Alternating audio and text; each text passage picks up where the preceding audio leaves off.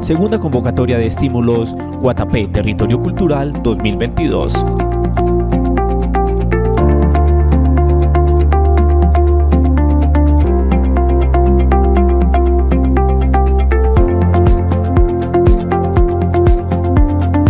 La propuesta técnica consta de cuatro partes fundamentales, la descripción, el objetivo, la justificación y los alcances.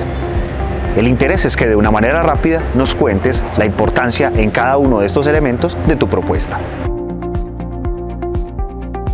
Los documentos administrativos necesarios para la presentación de tu propuesta son tu cédula de ciudadanía o tu documento de identidad, el RUT actualizado, una carta de declaración de residencia en el municipio de Guatapé, una carta de presentación de la propuesta y no te olvides de adjuntar el presupuesto, la distribución del presupuesto del estímulo por el que estás participando y el cronograma donde identifica los tiempos para llevar a cabo tu propuesta. Aquí encuentras el formulario de la convocatoria Estímulos Guatapé Territorio Cultural 2022.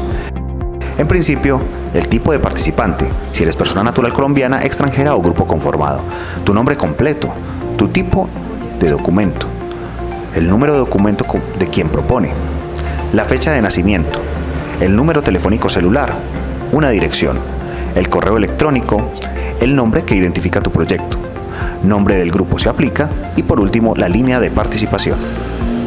En la segunda página del formulario encontrarás en primer lugar el link desde donde puedes descargar los formatos para participar en nuestra convocatoria.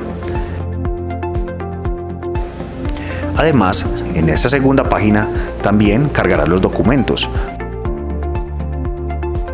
Por último, en caso de requerir más información, puedes comunicarte a este correo electrónico cultura.guatapé-medioantioquia.gov.co y a los números telefónicos que aparecen en el formulario. Recuerda que solo tendrás una única oportunidad de enviar esta información.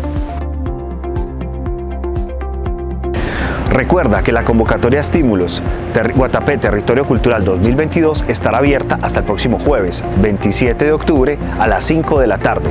Invitamos a todas las personas a que se interesen a participar de esta convocatoria y que hagamos de Guatapé un territorio cultural.